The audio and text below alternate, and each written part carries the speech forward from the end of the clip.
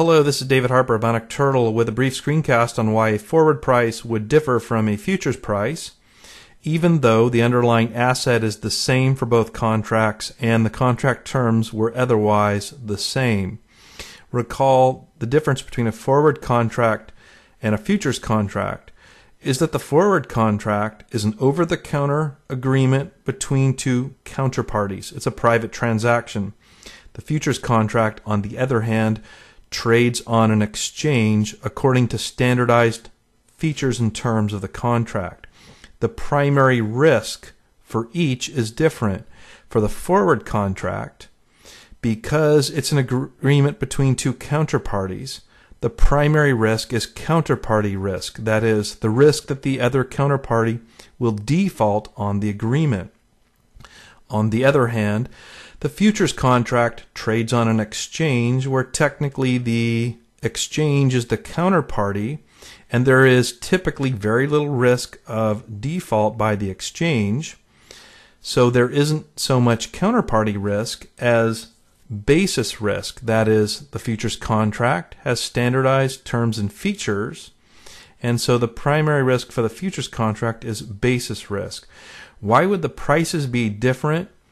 The primary reason is daily settlement. The fact that for the futures contract, if we consider the long, a long position, for example, on the futures contract, the long position needs to maintain a margin account.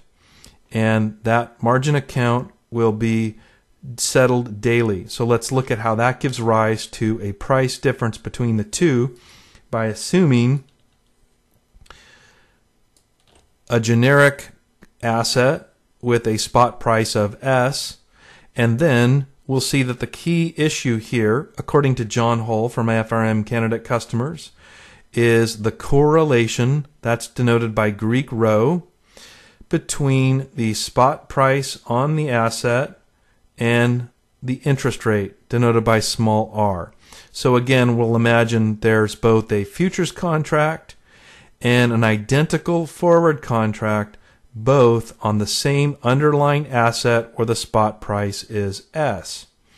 And then the issue becomes is there positive or negative correlation between spot price and interest rate? Let's assume that there is positive correlation and that we have a scenario here where after the contracts are initiated, the spot price increases. There's an almost one to one correspondence between the futures price and the spot price. And so if the spot price increases, the price of both the futures contract and the forward contract will increase also.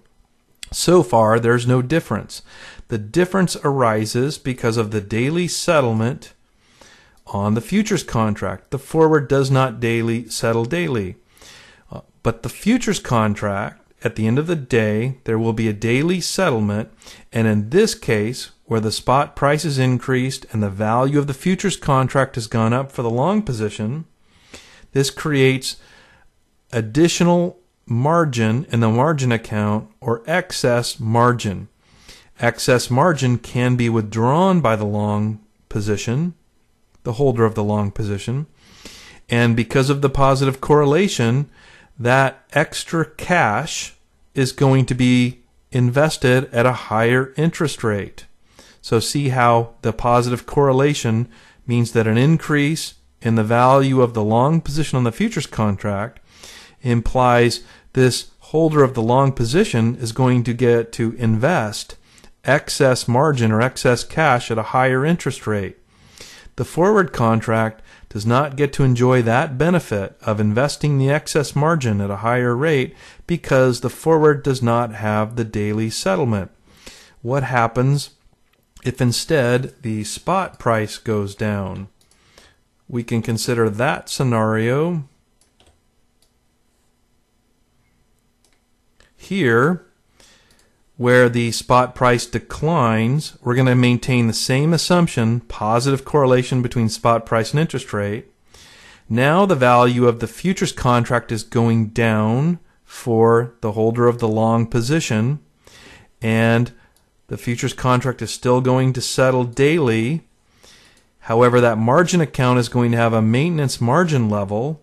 And if this spot price and the value of the futures contract keeps going down, there will eventually be a margin call. In other words, the holder of this long position will have to deposit additional cash into that margin account.